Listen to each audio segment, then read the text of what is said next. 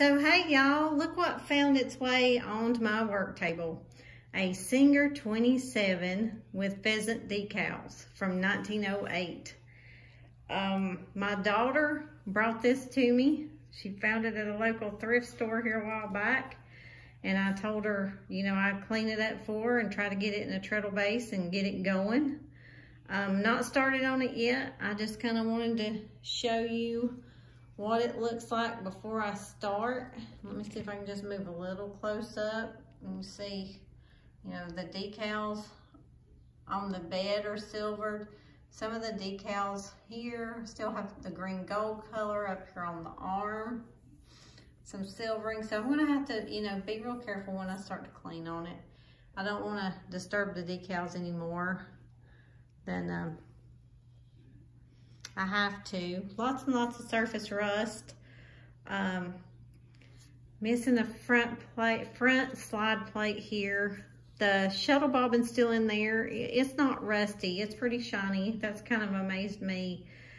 Um, that the, the underneath isn't as in bad shape as this outside.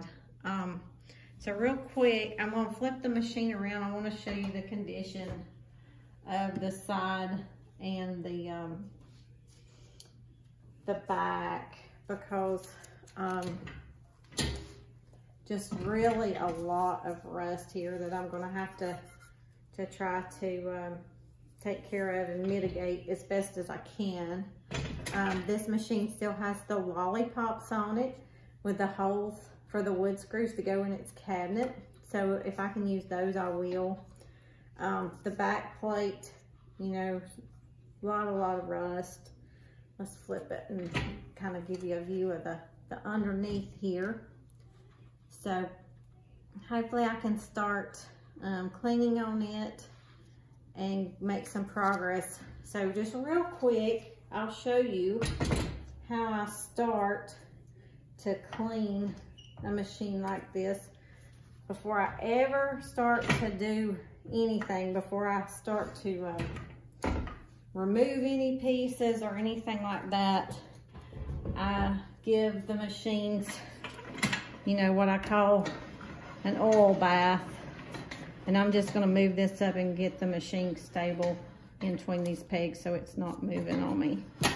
Um, so that should be good.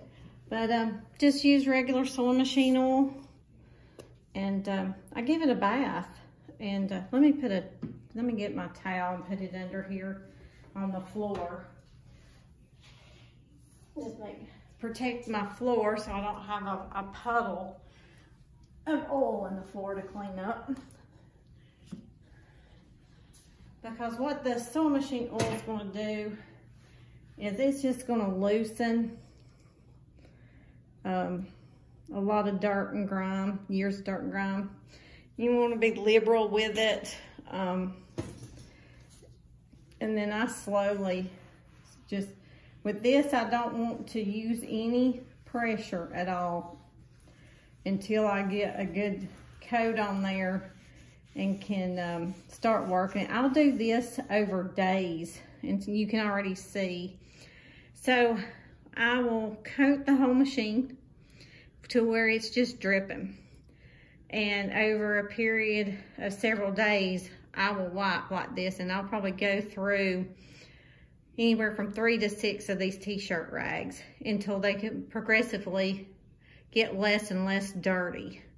And then I'll go through several several days of just wiping it with a clean t-shirt rag to get any oil residue off.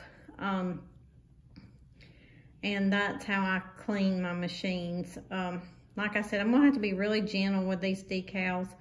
Um, I'm not gonna worry about, um, you know, any, uh, get, I'm not gonna worry about getting oil anywhere. You know, I'm gonna be real liberal with it and put oil all over the machine. That's gonna help loosen it up or help me find out where I need to uh, concentrate my efforts on where it's locked up. Sometimes just a good oil bath um, and just cleaning some of the areas inside the machine underneath and um, here the um, around the hand wheel and opening up these um, plates on the side and the back and getting some oil down in there and cleaning up.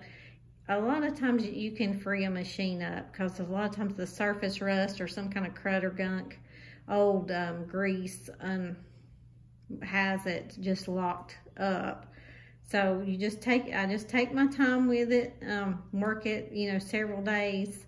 And like I said, you know, let this oil kind of soak a little bit and then just real gentle you know, I try to do little circular motions, but no, not very light pressure. I'm not putting much pressure on it all. And you can see, and that'll go on for several days. So, um, while you guys are doing your thing, I'll be here wiping on a sewing machine and I'll keep you posted to the progress of this. Um, have a blessed day. Hope you enjoyed the video. If you do, like and subscribe, share with your friends, and I'll talk to you later.